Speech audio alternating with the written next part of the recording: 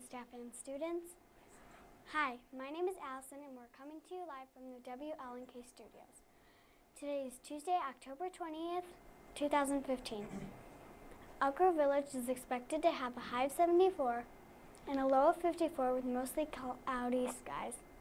Please stand for the pledge. I pledge allegiance to the flag of the United States of America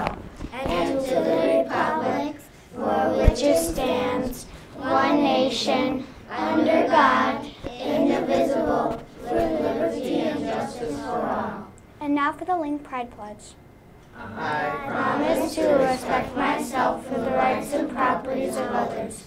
I alone am responsible for my actions and attitudes. I pledge to do my best at all times to be a positive role model. Our pledge people for today are Karenga, Kevin, Masaki, Kengo. In sports today, the Cubs face off with the, with the Mets at home tonight in Game 3 of the Championship Series. Today's announcements are Congratulations to District 54 Unified Soccer Teams. They competed at the state tournament last Saturday. Timothy G's team came in first place. Make sure to congratulate him today. And now for a word for Mr. Wilbecker.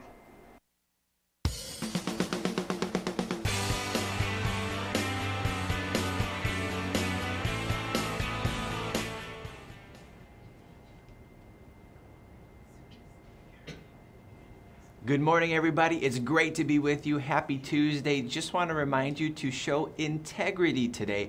And remember that integrity is doing the right thing even when nobody is watching, right? Whatever uh, our beliefs are, which is being safe, being responsible, being respectful, matches our actions. And we show that by this hand motion like this uh, to demonstrate integrity. So make sure you're showing integrity today. I've seen some great examples of it already yesterday, the first day of the week. I'm excited to see what more can happen today. Take advantage of every learning opportunity and, of course, keep on rocking.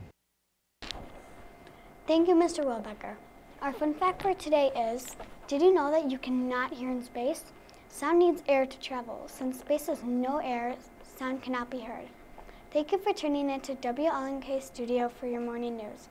Have a totally terrific Tuesday.